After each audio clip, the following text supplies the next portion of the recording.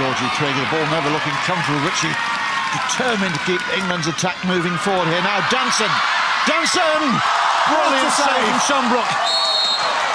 Brilliant save from the Dutch goalkeeper who's been uh, largely a spectator, but what an effort that was from Alex Danson. What a pass in, seen by Webb, picked up by Danson, roll over the right shoulder. Backhand is what Danson loves, and that is brilliant. A goalkeeper who could be cold and unfocused